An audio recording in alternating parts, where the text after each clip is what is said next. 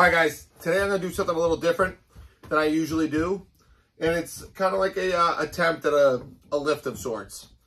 And admittedly, I watch a lot of uh, Todd Hutchings videos and I listen to what he says because he's got a very contrasting idea of arm wrestling to me, which is great because I liken our sport a lot to MMA.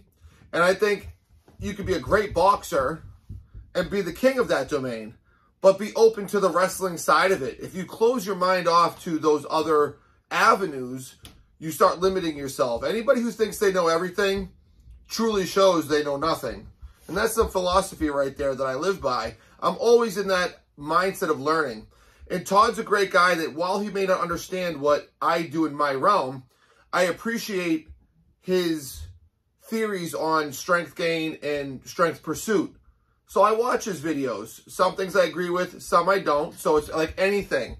Take the good, leave out the bad.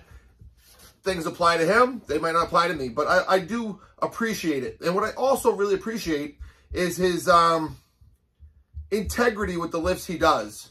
From everything I've seen, he does it. He's very, uh, he has a lot of integrity. He does lifts that seem to make sense on the table. And if he gets too far away from it, he doesn't do it that just for the sake of moving a number that looks great for YouTube, which makes his numbers much lower than his strength would indicate. Because there are guys out there doing side pressure pulls with 200 pounds, 300 pounds, and he's running through them. Fucking running through them. So what's real? What's a real side pressure? What's a real pull from like the top of your knuckle or with a with a low supinated kind of rolling handle? This guy's doing like 80, 90, 100, 110. You're seeing guys elsewhere that can't hold a candle to him doing double that. So what's real? Which is great because I want to talk about the new guys who watch these videos and they're like, holy fuck, there's some guy out there in my weight class pulling 200 pounds. But look at the integrity of the lift. Look at how he's doing the lift. Does that ever make sense on an arm wrestling table? So the reason I'm doing this is I just watched one of the videos and I was I was just very curious.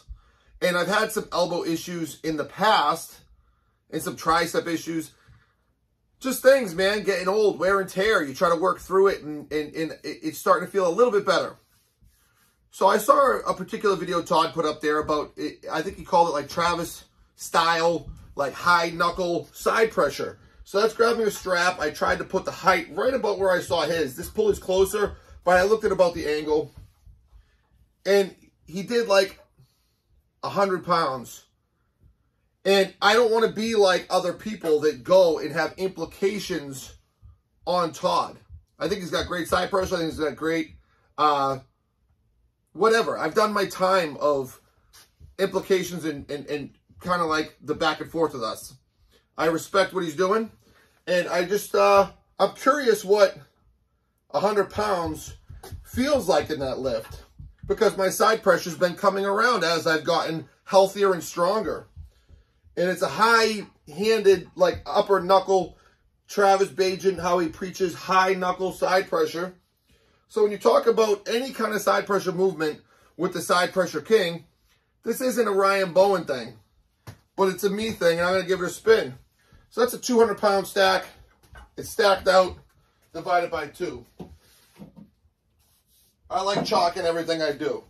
I even beat my meat with chalk on, so judge all you want. All right, we're starting in the middle, right up over the knuckle, strap over the knuckle.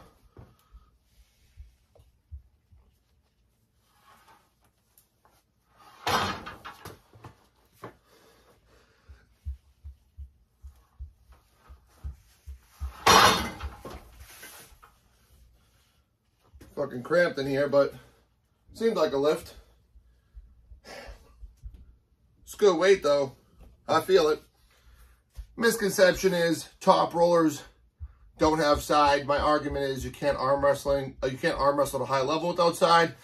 I don't do this as much, but hey, I was curious. So, truth be told, I appreciate the content that's put out there, and I I love to test myself that's how I've often fucked myself up is coming down here, testing myself on fucking lifts that I shouldn't be maxing on cold.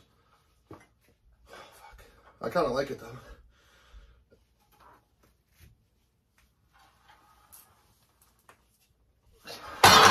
That one was good. Dubai or bust, motherfuckers.